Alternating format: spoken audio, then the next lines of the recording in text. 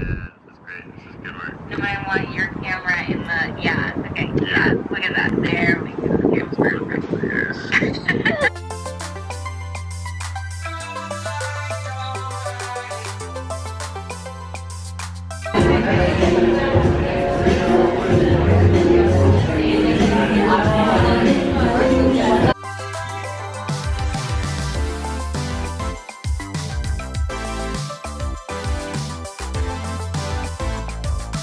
I found another tiny door. Found another one. I don't want to walk anymore. It's cold. Or I left my gloves in. Where did I leave my gloves? I don't know. I freaking love Atlanta. Okay, there's one more thing that I want to find before I go, which is one last tiny door.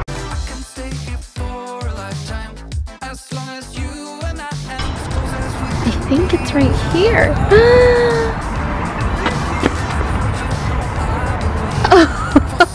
okay, now this is the last thing I'm gonna do before I go back to my car. One more. This one is in front of a pet store. Hey. Look. Purple. Heyo. Okay, it is Tuesday, and this evening we are going to go to the aquarium. know me. Take the time to dig deep underneath this red heat. We could really meet.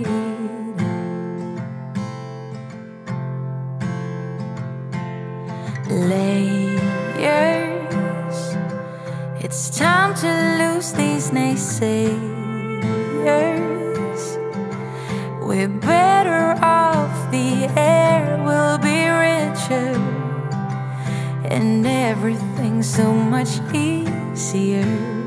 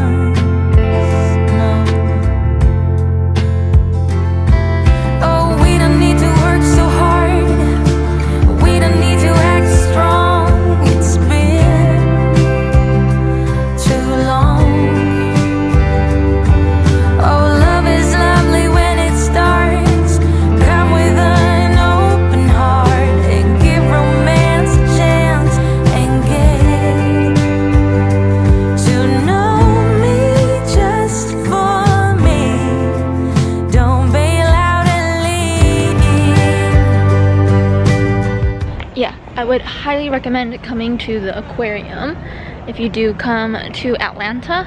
It is the biggest aquarium that I think America has. I will say though, it's a lot smaller now because I'm a bigger person. The last time I came here was like seven years ago. Um, but apparently in 2020, they're supposed to get some like predatory sharks. So that's kind of exciting. They don't even know what kind of sharks they are. They only know that it's going to be like a predator shark. So gotta come back.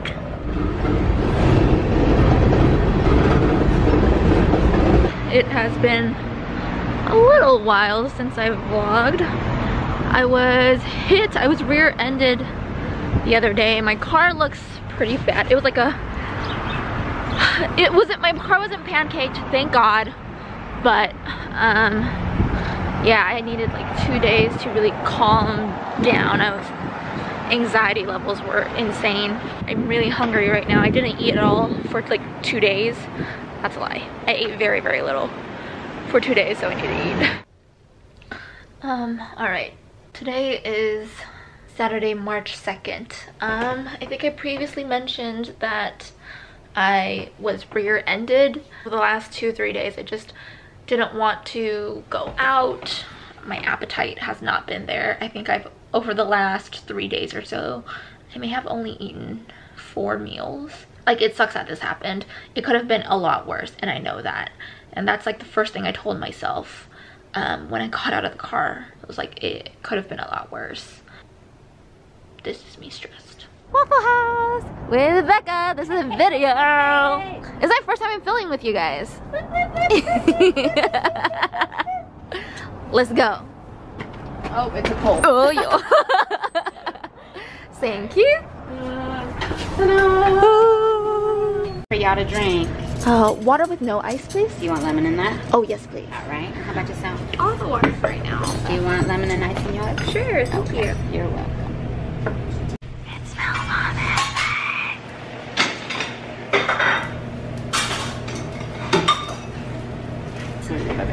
Thank you You're welcome. So much.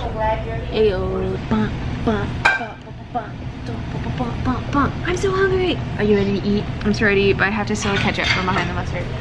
She does. Bring it on.